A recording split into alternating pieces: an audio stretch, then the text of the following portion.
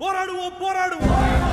நீதி கிடைக்கும் வரை போராடுவோம் law's a very powerful weapon யாரை காப்பாத்துறதுக்காக நாம் அதை பயன்படுத்துறோங்கிறது ரொம்ப முக்கியம்.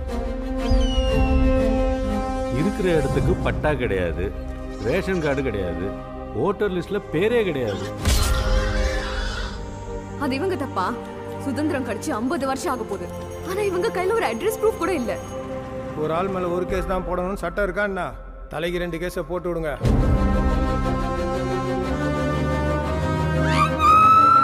பாதிக்கப்பட்டவங்க யாரா இருந்தாலும் எத்தனை பேர் இருந்தாலும் அவங்களுக்கு நீதி கிடைக்கணும்.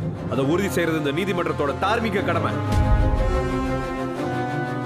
ராசாக்கண்ணு மொசக்குட்டி இருட்டப்ப. இந்த மூணு பேரும் habitual offenders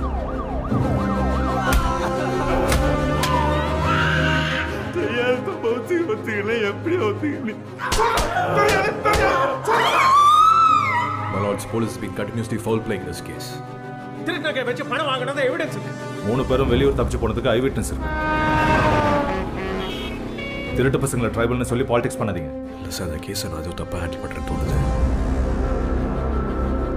This case is nothing but a scandal. இனிமே the local police handle பண்ணக்கூடாது. This is a fit case to be handed over to the CBI. அதான் போலீஸே உண்மையை ஒத்துக்கிறாங்களே ஒரு உண்மையை சொல்றாங்கன்னா அப்புறம் உண்மைகளை மறைக்கிறாங்கன்னு அர்த்தம். We want a CBI inquiry, my lord. This case is getting bigger day by day. CM கவனத்து போகிறதுக்குள்ளே இந்த கேஸை நம்ம முடிச்சாகணும். தப்பு பண்றவங்களுக்கு பதவி பணம் ஜாதின்னு நிறைய இருக்கு சார் பாதிக்கப்பட்டவங்களுக்கு நாம தானே இருக்கோம். அந்த நாலு குடிசையும் கொளுத்தி விடுறதுக்கு எம்ம நேரம் ஆயிடும்?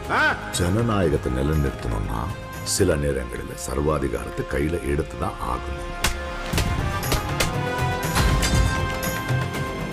நீதிக்கு ஆதரவான வார்த்தைகளை விட அநீதிக்கு எதிரான நீதிமன்றத்தின் மௌனம் ஆபத்தானது.